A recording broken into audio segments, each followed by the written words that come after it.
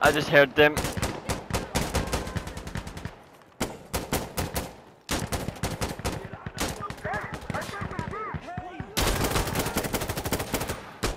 Oh, fucking hell.